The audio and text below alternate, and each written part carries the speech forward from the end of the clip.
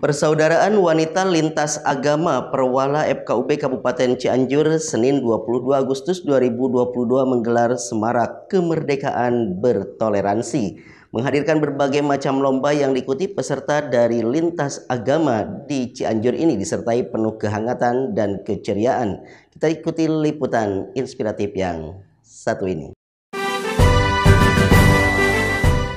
Persaudaraan Wanita Lintas Agama Perwala, salah satu organisasi saya Forum Kerukunan Umat Beragama FKUB Kabupaten Cianjur, memanfaatkan momentum bersejarah dengan menggelar Semarak Kemerdekaan Bertoleransi yang dipusatkan di Gedung Dakwah Kantor Kementerian Agama Kabupaten Cianjur Senin 22 Agustus 2022 yang turut dihadiri pejabat Kesbang Pol, Kepala Kantor Kementerian Agama, aparat kepolisian, pimpinan dan anggota Forum Kerukunan Umat Beragama FKUB Kabupaten Cianjur yang diikuti oleh seluruh perwakilan perempuan lintas agama yang ada di Kabupaten Cianjur.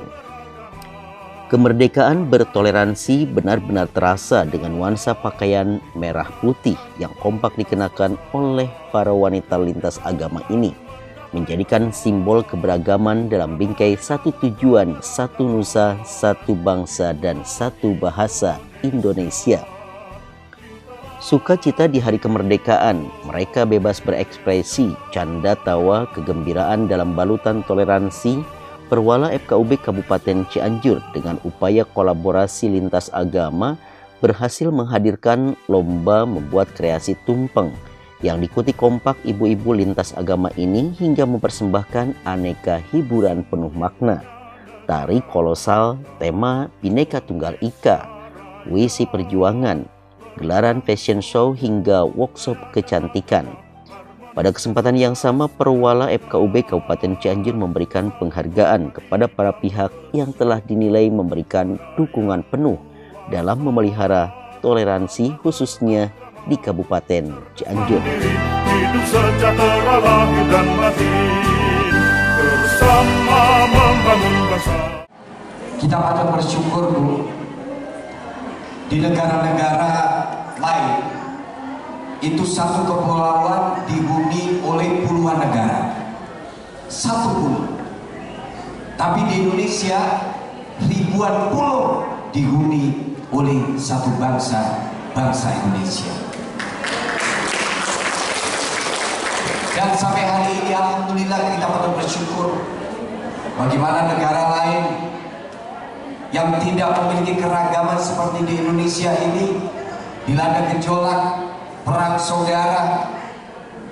Misalnya kita lihat Di Timur Tengah, di Suriah.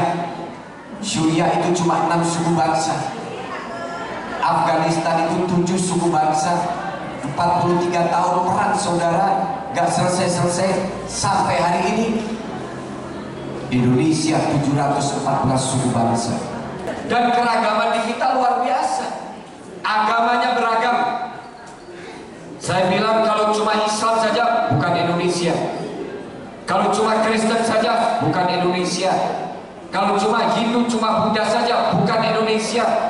Kalau cuma Konghucu saja bukan Indonesia tapi Indonesia Islam, Kristen, Katolik, Hindu, Buddha, Konghucu bersatu dalam semangat kesatuan dalam keragaman dan kebinekaan.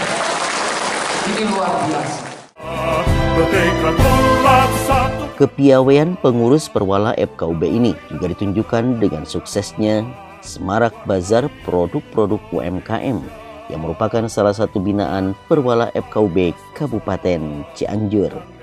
Iman Sulaiman untuk kabar Cianjur TV.